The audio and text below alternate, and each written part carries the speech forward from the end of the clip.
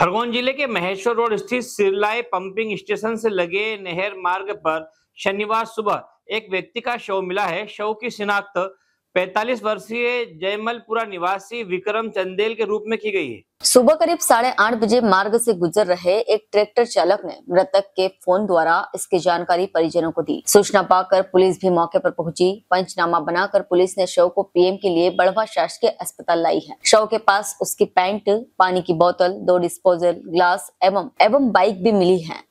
Police के अनुसार प्रथम दृष्टि यह मामला जहरीली दवा पीकर आत्महत्या का लग रहा है। इसके बावजूद पीएम के बाद स्थिति स्पष्ट हो पाएगी। Bureau report Khargone. Sir Maheshwar road पर कोई सुबह शव मिला है आज? हाँ अभी जानकारी मिली थी कि महेश्वर रोड पर नहर के किनारे जयमलपुरा निवासी विक्रम पिता हेरालाल चंदेल ये पैंतालीस साल का है। दूध का और छाछ बेचने का व्यवसाय करता है मोटरसाइकिल से। इनकी यहाँ पे आकर देखा तो डेड बॉडी पड़ी हुई थी। जिसका शव पंचनामा कार्रवाई की जा रही है।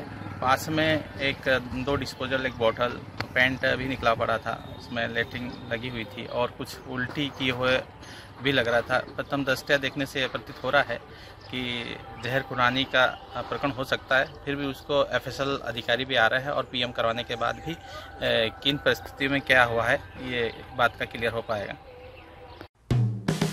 हेलो फ्रेंड्स आप देख रहे हैं हमारा channel S W twenty four news हमारे सारे वीडियो सबसे पहले देखने के लिए आप हमारे चैनल को सब्सक्राइब करें और पास में लगे बेल आइकन को दबाना बिल्कुल भी ना भूलें।